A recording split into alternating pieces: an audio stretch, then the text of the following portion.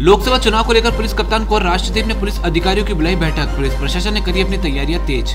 प्रदेश में होने वाले उनतीस अप्रैल को लोकसभा आम चुनाव को लेकर पुलिस प्रशासन ने अपनी तैयारियाँ तेज कर दी है। आज अजमेर में अजमेर जिला पुलिस अधीक्षक कुंवर राष्ट्रदीप ने अजमेर ज़िले के समस्त व्रत अधिकारी व अतिरिक्त पुलिस अधीक्षक की मीटिंग लेकर चुनाव में पुख्ता प्रबंध करने के दिशा निर्देश दिए साथ ही जिला पुलिस अधीक्षक कुंवर राष्ट्रदीप ने चुनाव में किसी प्रकार की कोई अप्रिय घटना तथा अवैध शराब की बिक्री पर रोक लगाने के लिए अधिकारियों को सख्ती से पालना करने के निर्देश दिए जिला पुलिस अधीक्षक कुंवर राष्ट्रदीप ने बताया की चुनाव आयोग के दिशा निर्देश पर शांतिपूर्ण मतदान और भयमुक्त वातावरण बनाने के लिए पुलिस की ओर से तैयारियाँ पूर्ण कर ली गई है। इसी को लेकर आज उच्च स्तरीय मीटिंग की गई।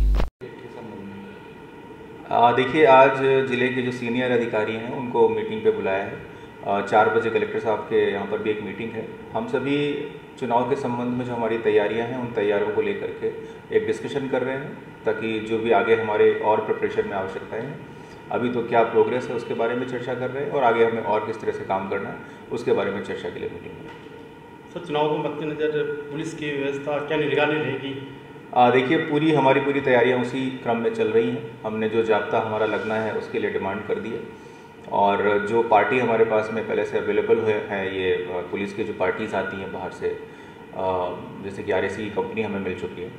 तो उसके द्वारा हमने एरिया डोमिनेशन का काम भी शुरू कर दिया है। तो हमारी जो भी तैयारियाँ हैं चुनाव को लेकर के वो लगातार चल रही है।